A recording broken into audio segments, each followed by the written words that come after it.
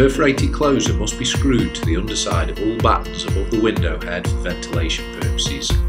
Cut, position and screw a connection profile into the rear of the window head abutting the window frame. Cut a Cedral plank to size ensuring that a minimum of 20mm of the perforated closure is still visible. Insert the cut edge into the connection profile. The cut plank should be fixed into place using colour-coded Cedral screws. Position the next plank above the window head.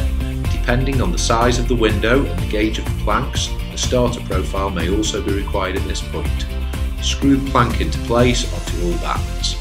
It is important to ensure the ventilation gap remains unobstructed.